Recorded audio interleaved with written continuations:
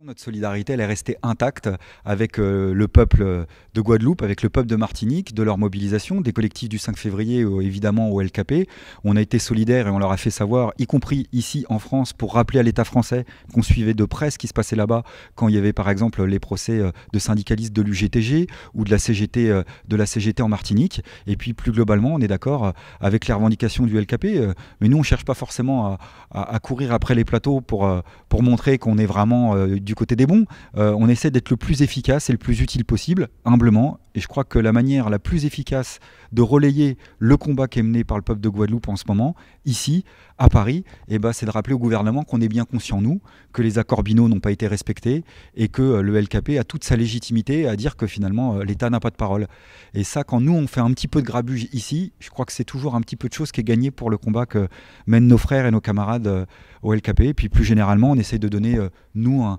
un autre regard sur, euh, sur le peuple des Antilles, euh, pas un regard euh, de supériorité, pas un regard folklorique comme la classe politique française malheureusement a, trop souvent. Une façon aussi de célébrer notre combat au-delà, je dirais, d'un côté ou de l'autre de l'océan, c'est de relayer par exemple avec d'autres ici en France la mémoire de Franz Fanon, ce qu'on a fait puisqu'il y a quelques jours c'était le, le 49e anniversaire de son décès et il y a toute une série d'initiatives qui vont être faites pour, pour, je dirais, pour aider aussi la jeunesse d'ici à, continuer à s'accaparer de son histoire et de sa mémoire. Bah, Je pense que l'État français euh, mène une politique, euh, une politique néocoloniale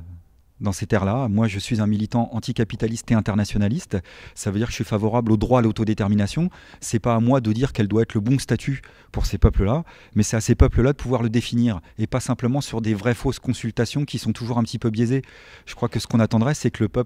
euh, les, peuples, les peuples concernés puissent euh, élaborer leurs propres institutions, leurs propres structures. Et quoi qu'il en soit, il y a une chose qui est sûre, c'est qu'il y a beaucoup trop de misère là-bas et il y a beaucoup trop de décisions politiques dans le domaine économique, dans le domaine social, qui sont décidées à Matignon alors qu'elles devraient être décidées localement.